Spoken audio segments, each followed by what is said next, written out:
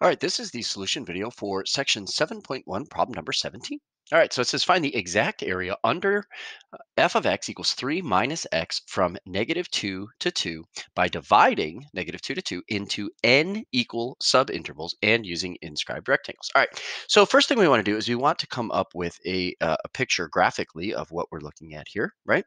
So we've got uh, the function 3 minus x. So that would be a line with a slope of negative 1 and a y-intercept of 3. So something like that. All right. And we're going from negative 2 to 2, right? Um, and so we're trying to estimate this area using inscribed rectangles. Now, remember, we're using uh, an infinite number of rectangles, right? And so uh, remember, we're really div dividing this up into infinitely thin rectangles, right? And that's going to find the exact area, right? So our function f of x is 3 minus x. Our interval is negative 2 to 2. So this is like our A and our B, right? And our uh, delta x, right, our width of each rectangle is going to be uh, 4, right, because we're going from negative 2 to 2, right? So remember, uh, 4 is going to be the difference between A and B over n, right?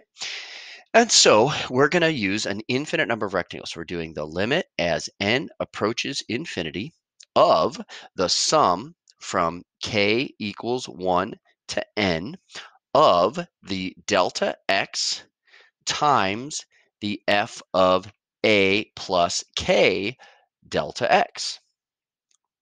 Right? So that's kind of like the general formula, right? So we're going to do the limit as n approaches infinity of the sum from k equals 1 to n of, all right, delta x. What is delta x? That's 4 over n times the f of x function. So 3 minus x. So 3 minus x. Now remember, x in this case is a plus k delta x. So a is negative 2 plus k times delta x, which is 4 over n, right? So now it's important that I have parentheses around the a plus k delta x, and then I have parentheses around the 3 minus x so that the 4 over n gets distributed through right? And so now I just have to do the work to kind of simplify this, all right?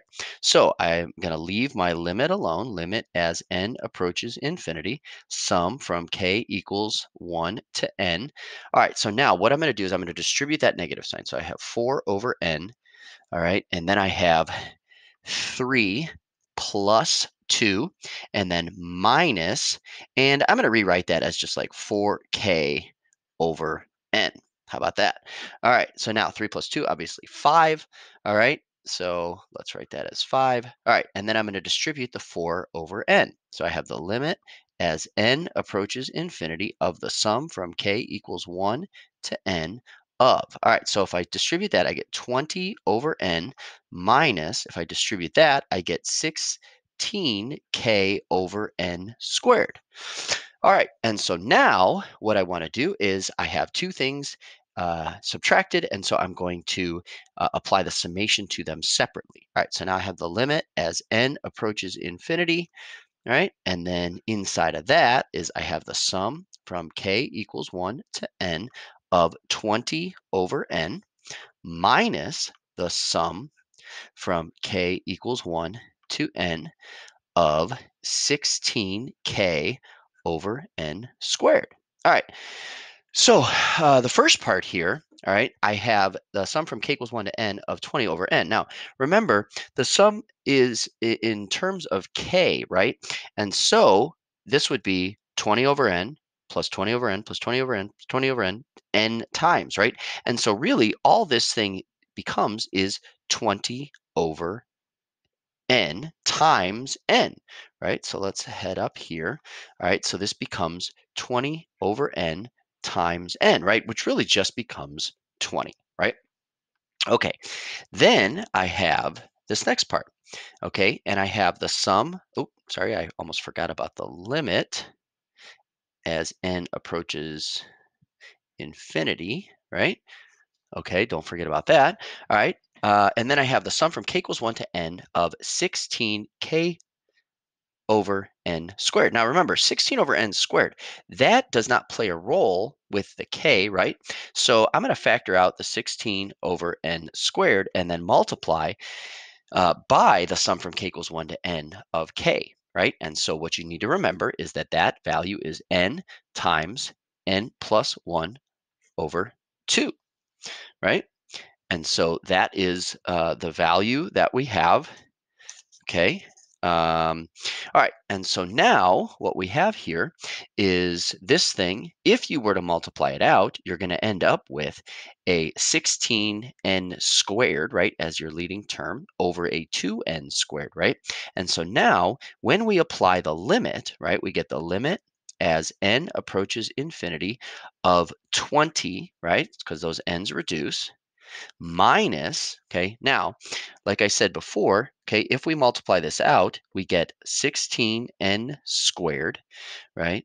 Uh, and then this would be uh, plus 16n, right? And then all divided by 2n squared. Now, the limit as n approaches infinity of 20, well, that's just 20, right? Because there's no n there, so that doesn't matter, all right? And then minus the limit as n approaches infinity of now, if I bring this negative sign in, I get negative 16n squared minus 16n over 2n squared.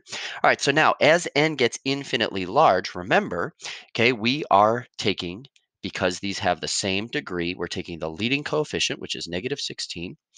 Uh, sorry, this should become a plus, right, because I distributed that negative. I get uh, a negative 16 over a 2, and so I get negative 8. So I get 20 plus negative 8. And so my answer is 12. So 12 is the exact area under the curve. So that is problem number 17.